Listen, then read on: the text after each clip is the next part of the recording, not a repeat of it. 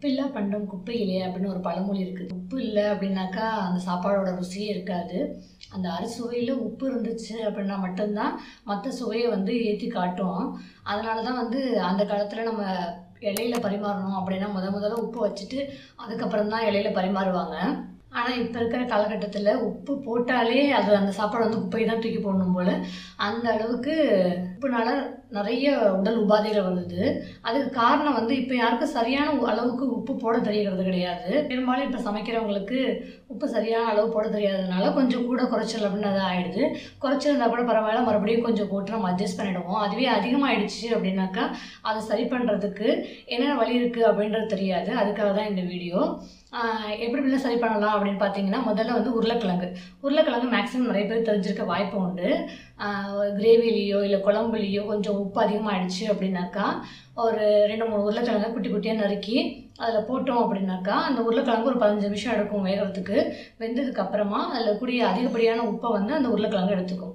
இது இல்லாமல் தேங்காய் பால் இருக்கு இல்லையா? தேங்காய் பாலும் உணவுல சேர்க்கலாம். தாய்ப்பாலுக்கு அடுத்ததாக அதிக சத்து உள்ள ஒரு பால் எது அப்படின்னா அது தேங்காய் பால் தான். அதனால் முடிஞ்ச வரைக்கும் உப்பு அதிகமாகிடுச்சு அப்படின்னா நம்ம தேங்காய் பாலை அந்த கிரேவிலையோ இல்லை குழம்புலையோ ஆட் பண்ணிக்கலாம். ஆட் பண்ணோம் அப்படின்னா அந்த எக்ஸஸான உப்பை தேங்காய் பால் உள்ளே எடுத்துக்கும். அதே மாதிரி தயிர். அந்த கிரேவிலையோ இல்லை குழம்புலையோ வந்து ஒரு ரெண்டு ஸ்பூன் தயிர் எடுத்து போட்டோம் அப்படின்னா தயிரும் என்ன பண்ணோம் அப்படின்னா அந்த அதிகப்படியாக இருக்கக்கூடிய அந்த உப்பை வந்து உள்ளே எடுத்துக்கும். இது இல்லாமல் அதிகமாக கொஞ்சம் தண்ணி ஊற்றலாம் நம்ம குழம்புல. தண்ணி ஊற்றிட்டு மறுபடியும் ஒரு பதினஞ்சு நிமிஷம் கொதிக்க விடுறது மூலமாக அந்த தண்ணியை சுருங்கிடும் குழம்பு திக்காகிடும் அதே இது இல்லாமல் நாட்டு சக்கரை இருக்கு இல்லையா? நாட்டு சக்கரையும் ஒரு கல் உப்பு கூட போயிடுச்சு. கொஞ்சம் தான் கூட போயிருக்கு அப்படின்னா அந்த மாதிரி சமயங்களில் நாட்டு சக்கரை ஒரு ஸ்பூன் எடுத்து போட்டோம் அப்படின்னாக்கா அந்த இனிப்பு வந்து அந்த உப்பை வந்து பேலன்ஸ் பண்ணிவிடும்.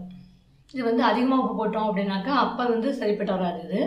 ஆனால் கொஞ்சமாக உப்பு கூட போயிடுச்சு அப்படின்னா அப்போ அந்த நாட்டு சர்க்கரையை போட்டோம் அப்படின்னா கம்மி பண்ணிடும். இப்போ நமக்கு இருக்க பெரிய பிரச்சனைனா எந்த உப்பை பயன்படுத்துறது அப்படிங்கிறதுலையே நம்ம யோசிச்சுட்டு இருக்கோம். கல் உப்பு பயன்படுத்துறதா இல்லை இந்து உப்பு பயன்படுத்துறதா அப்படின்னு எந்த உப்பை பயன்படுத்தினாலும் அதை கம்மியாக யூஸ் பண்ணுறது ரொம்ப ரொம்ப நல்லது. எனக்கு அளவுக்கு மிஞ்சினால் அமிர்தமும் நஞ்சு. அந்த உப்பு அதிகமாகிறதுனால நான் என்னென்ன பிரச்சனை வருதுன்னு நமக்கே தெரியும். கால் வீங்கும் நீர் போகாமல் இல்லை வந்து ஹை பிபி அதிகமாகிறதுக்கோ நிறைய ப்ராப்ளம்க்கு மெயின் ரீசன் என்னன்னு பார்த்தீங்கன்னாக்கா உப்பாக தான் இருக்கும். டாக்டர் கிட்ட ஏதாவது உடம்பு சரியில்லை அப்படின்னு நம்ம போனோம் அப்படின்னாவே உப்பை கம்மி பண்ணுங்க காரத்தை கம்மி பண்ணுங்க அப்படின்னு தான் சொல்லுவாங்க. அதனால உப்பை வந்து எப்போவுமே அளவு அளவாக போடுறது ரொம்ப ரொம்ப முக்கியம். அதுக்கு உதாரணம் சொல்லணும் அப்படின்னாக்கா இப்போ உப்பு இருக்கிற அந்த மண் இருந்துச்சு அப்படின்னாக்கா உப்பாக இருக்கிற அந்த மண் இருந்துச்சு அப்படின்னா அங்கே வந்து பெருசாக வந்து ஒரு காய்கறியோ இல்லை பழமோ விளைவிக்கக்கூடிய ஒரு மரமோ செடியோ முளைக்காது. ரொம்ப நல்லா பயன் தரக்கூடிய அந்த மாதிரியான இப்போ தென்னை மரமோ அதெல்லாம் முளைக்காது. நம்மளோட உடம்பும் கூட அதிகப்படியான உப்பை சேர்க்குது. கொழுப்பு மட்டும் நம்ம உடம்புல சேர்ந்தால் வந்து நமக்கு கெடுதல் வந்துடும் அப்படின்னு நம்ம நினைக்கிறோம். ஆனால் அதே மாதிரி தான் உப்பும் வந்து அதிகமாகமாக நம்மளுடைய உடம்பு வந்து ஒவ்வொரு உறுப்பையும் அதை அழிச்சுக்கிட்டே வரும். உப்போட தன்மையே என்னதுனாக்கா கசீரகம் கரையதும் தான் அந்த கசீரகம் கரையதையும் நம்ம வந்து ஒரு டிஸ்கம்ஃபர்ட்டாக ஃபீல் பண்ணிகிட்டு இருக்கிற அந்த சமயத்தில் தான் உப்பு வந்து மார்க்கெட்டுக்குள்ளே வந்து தூளுப்பாக வந்துச்சு. கேட்டால் ஃப்ரீ ஃப்ளோ சால்ட் அப்படின்னு சொன்னாங்க. அது வந்து ஈரமாகாது. ஈஸியாக எல்லா பொருளுக்கும் ஹேண்டில் பண்ண முடியும் எடுத்து போட முடியும். அளவு எடுத்து வச்சுக்கலாம். அளவாக போடலாம் அப்படின்னு சொன்னாங்க. ஆனால் அதனால தான் நம்ம நிறைய வியாதியும் வாங்கிக்கிட்டோம். ஏன்னா அதில் ஆன்டி கேக்கிங் ஏஜென்ட் எவ்வளோ நேரம் திறந்து வச்சுருந்தீங்க அப்படின்னாலும் அந்த உப்பு வந்து நீர் கோக்கவோ இல்லை எதுவும் ஆகாது. ஆனால் உப்போட தன்மையே என்னது அப்படின்னாக்கா அந்த ரெண்டு ரெண்டு கல் படுத்து எடுத்து நீங்கள் வெளியே வச்சீங்க அப்படின்னாக்கா காற்றுல இருக்கக்கூடிய ஈரப்பதத்தை அது உள்ளே இருந்து உறிஞ்சி அந்த உப்பில் வந்து நீர் கசிய ஆரம்பிக்கும். அதுதான் வந்து உப்போட தன்மையே. அதுதான் சுத்தமான கல் கல்லுப்போட தன்மை. அதை நல்லா முடிஞ்ச வரைக்கும் பயன்படுத்துங்க. அதையும் கம்மியாக பயன்படுத்துங்க. இப்போ வந்து நம்ம ஒரு ஊறுகாய் சாப்பிட்றோம் அப்படின்னாக்கா ஊறுகாய் நம்ம எது தொட்டு சாப்பிடுவோம்? தயிர் சாதம் தொட்டு சாப்பிடுவோம். அப்போ தயிரில் உப்பு இல்லாமல் சாப்பிடலாம்.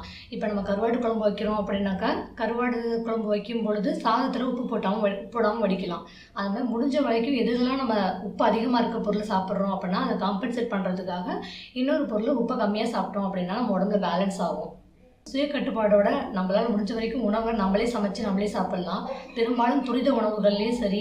கடையில் விற்கிற நிறைய பொருளில் உப்பு அதிகமாக போட்டால் மட்டும்தான் அவங்களால ரொம்ப நாள் கொண்டு வர முடியும். இல்லைன்னா அந்த பொருள் வீணாக போயிடும். அதனால் உப்பை வந்து கம்மியாக யூஸ் பண்ணி நம்மளோட ஆயிலை வந்து நீட்டிச்சுக்குவோம். வருமுன் காப்பதே சிறந்தது. அதனால் விழிப்புடன் இருப்போம்.